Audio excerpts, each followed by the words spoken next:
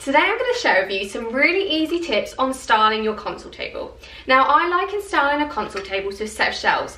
A blank open space can feel really daunting to start with, but with a few easy tips and knowing how to start with a blank canvas, you're going to be set on your way to styling your console table to perfection, whether that's in your bedroom like mine is, a hallway or a living space. So ready? Let's go. So before I get started, I just wanted to quickly show you my console table. Now this was a beautiful Facebook Marketplace find. It was white, it was completely battered, and I picked it up for 10 pounds, can you believe it? Um, so we literally just sanded it back, painted it black, added some beautiful uh, brass cup handles, and now it's a farmhouse modern beauty. So let's get to it. A key to styling any console table or shelves for that matter is starting with your largest item. This is going to set an anchor point and it's going to be much easier to build on rather than adding loads of tiny objects. So for me it's this concrete lamp which was another Facebook Marketplace upcycle and I'm going to place that just at the end of my console table. I absolutely love it and the concrete base um, was literally made um, by putting cement onto it and we've added a lampshade um, from Dunelm, which was like six pounds. And um, so this is now creating an anchor point on my console table and I'm ready to style the rest of the space. So the next bit that I always move on to is coffee table books. Now there's split opinion about um, you know, should they be just for reading, should they be for decorative, but I personally think they provide a really good base on a large space like a console table. Um, they look beautiful and they're actually good books if you want to read them as well. Um, so You've probably seen this one everywhere. This is the Soho House book. And we've also got the Live Beautiful, which I absolutely love.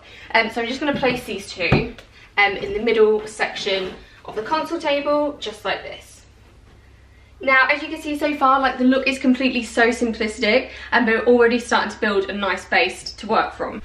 My style would be described as very transitional.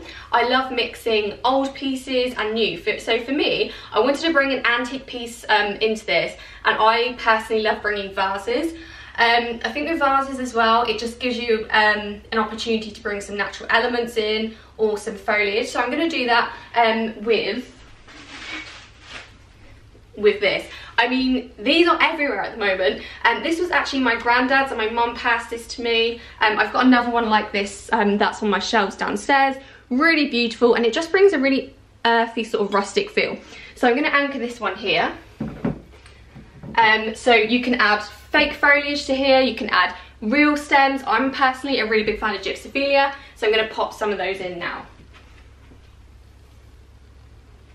Okay, so I've just put some Gypsophila in here. Um, I actually need a much bigger bunch. Not gonna lie guys, this has been in my bedroom for a little while, but I just wanted to give you an idea of um, bringing some te texture and some colour into the equation. Now the console table is starting to look a little bit better now, um, but I'm gonna add one more thing to this. Um, and the problem where a lot of people go wrong and um, with styling console table shelves is they start with way too many items and think that literally every blank space needs to be filled. What you're actually going to do is you're just going to create chaos and everything's going to fight for attention with each other. And so I'm just going to bring in some really simple brass candlesticks. It's going to match with the cup holders um, on, on the drawer here. But it's also just going to bring a beautiful contrast against the black. And I've got these two. So um, when it comes to styling objects, Three as an odd number always works really well, but I personally love two. I just think it creates a really beautiful contrast, but always make sure you've got one that's a little bit higher and one that's a, bit, a little bit shorter because it will create that depth and visual interest. So I'm just going to pop that here. And don't be afraid to keep moving around when you are building your console table um, because that's what all designers do. and you're never going to get it right first time. So I'm just going to pop them there. I'm Going to grab my candles and pop these in. It's a little bit wonky, but you get the idea. Um, and I'm super happy with this, but I am going to make a few movements. Um, so it visually just looks a little bit better. Books need to be moved. And I'm really pleased with how this is looking. I'm now going to add some rattan baskets to the underneath, which I'm going to show you. And um, then I'll show you the whole console table completed. And in the underneath of my console table, I'm just going to put some beautiful rattan baskets they had a nice rustic quality and they're perfect for storing bits and bobs and shoes or anything else that you want to have out of sight.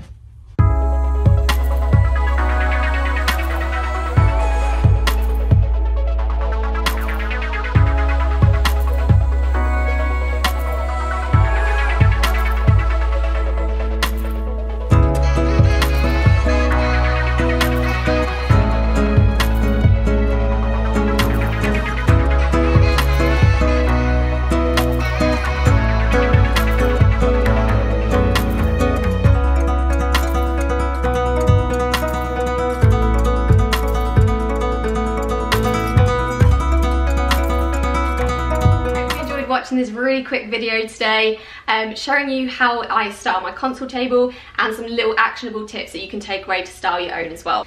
Um, my top tip is always, always have more stuff on hand um, that you might potentially style with. It's just gonna make the editing process a little bit easier. And don't be afraid to play around. Um, no one gets it right first time. It's all about creating, curating and editing um, everything once you've done it.